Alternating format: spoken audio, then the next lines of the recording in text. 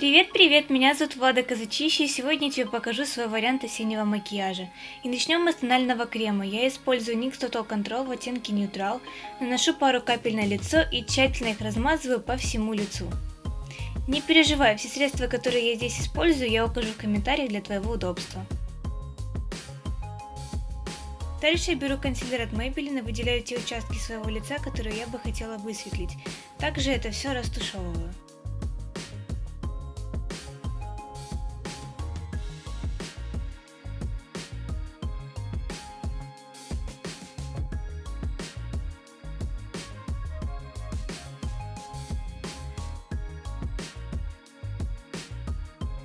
Если ты немного переборщила с количеством нанесенного средства, как я, не переживай, с помощью спонжа можно убрать все лишнее.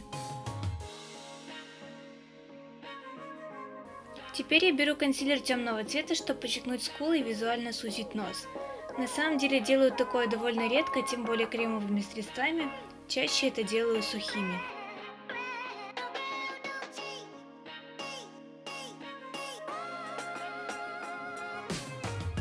После кремовых средств очень часто остаются блики там, где их не должно быть, например под глазами или на лбу. Чтобы скрыть, достаточно всего лишь использовать бесцветную пудру, а лучше ту, которая с матовым финишем.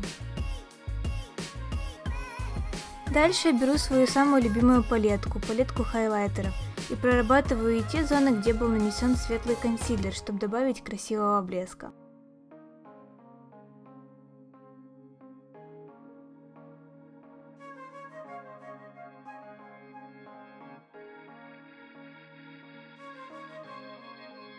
Теперь точно так же бронзер на места темного консилера.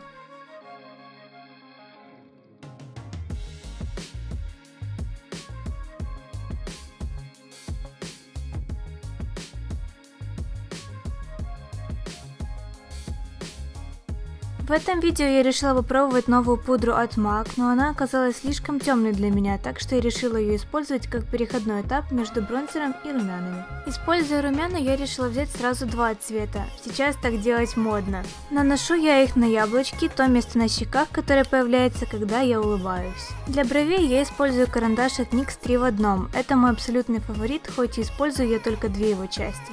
Сначала прокрашиваю карандашом верхнюю и нижнюю линию брови.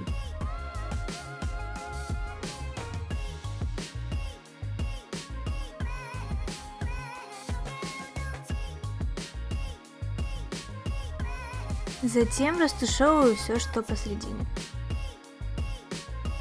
Гелем для бровей, который идет в комплекте, я не пользуюсь, потому что мне он кажется сильно темным.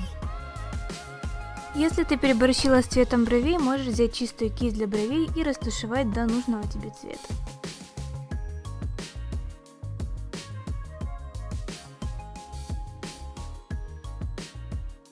Переходим к глазам. Берем праймер для того, чтобы тени в течение дня не скатывались и оставались такими же яркими. Ну а теперь и сами тени. Бесспорно, это моя самая любимая палетка. Для начала беру самый светлый оттенок и наношу его на все веко, аж до брови.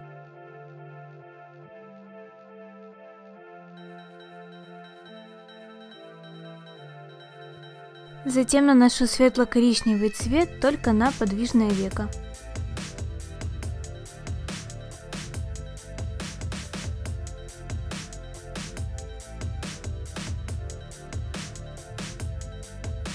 Прием со скотчем под глазами используют очень многие бьюти-блогеры для того, чтобы самый темный цвет не осыпался на лицо и чтобы была видна красивая грань нанесенных теней. Теперь главное ровно наклеить. Беру темно-коричневый цвет и затемняю уголок глаза, визуально вытягивая глаз. Цвета я пыталась специально подобрать в осенних мотивах коричневые, золотистые бордовые.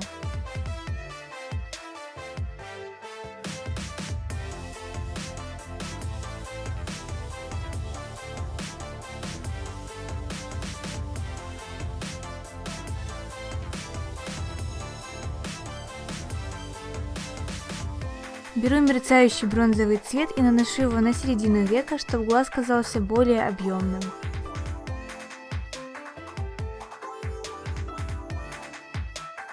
А также немножко наношу в уголок глаза. Мне всегда очень нравился этот прием.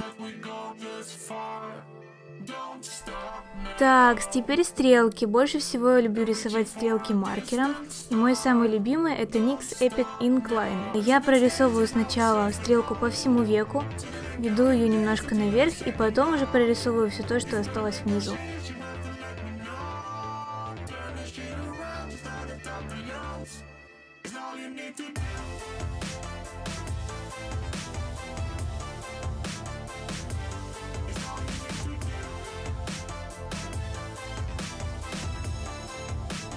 Сожалению, я очень плохо приклеила этот скотч, поэтому он мне очень сильно мешал в моей работе, особенно при нарисовании стрелок. Но после того, как я его сняла, я смогу подправить это все обычной ватной палочкой, вытянув стрелку немножко вперед, а затем закрасив то, что я вытерла, обратно же тенями.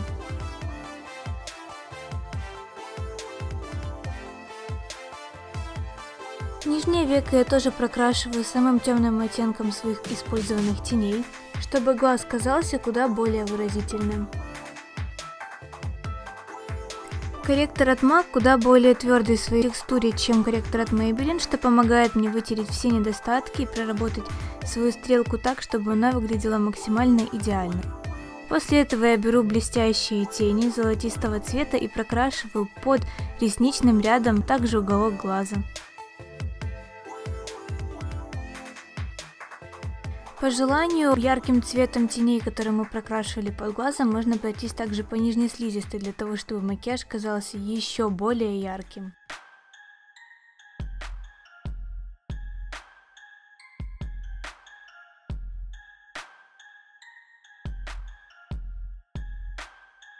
Для завершения макияжа глаз, конечно же, я использую тушь, и моя самая любимая это Maybelline Big Shot.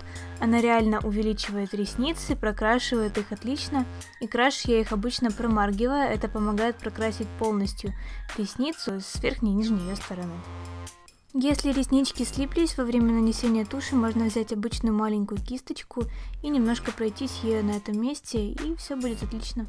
Также я прокрашиваю нижние ресницы для того, чтобы глаз был еще более контрастным. При нанесении помады я предпочитаю для начала пройтись карандашом для губ, пройтись по контуру для того, чтобы помадой не вылезти куда-то за пределы. Этот карандаш Джулия я нашла на каком-то китайском сайте в свое время за 40 гривен.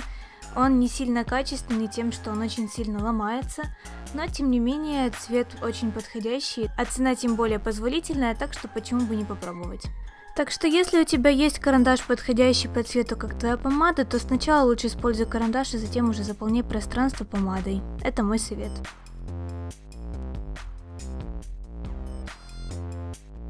В данном случае я использую помаду от L'Oreal Color Rich Matte. Мне она очень нравится своей матовой текстурой, я их уже как-то анализировала в одном своем видео, когда рассматривала все помады из этой серии. Так что если тебе интересно, можешь посмотреть. Видео оставлю тоже в описании.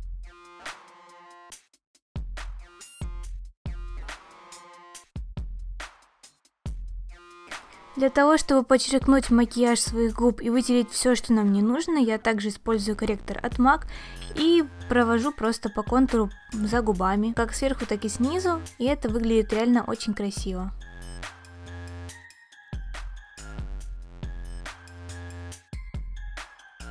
Ну вот и все, что у меня получилось. Я надеюсь, тебе понравился мой вариант синего макияжа. Если это так, то ставь свой палец вверх, подписывайся на мой канал, и я постараюсь делать как можно чаще свои туториалс.